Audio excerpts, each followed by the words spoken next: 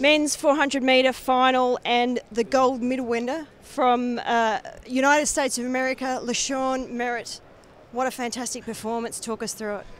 the gun went off. Uh, I knew exactly what I needed to do.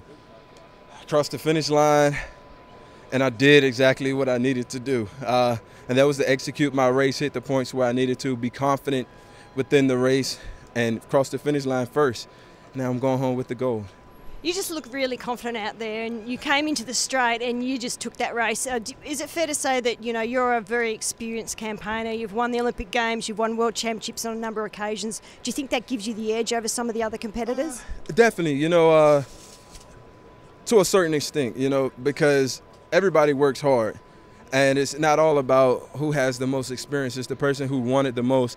And today was my day. Uh, I was really confident going through these championships. I didn't get a chance to run last year because of an injury, but had an undefeated season up until that. So I knew I can come out and, and run well. So it was just a matter of putting a race together. And 43.74, is that a personal best? It is. It is. What a great run. Fantastic. Congratulations. Thank you.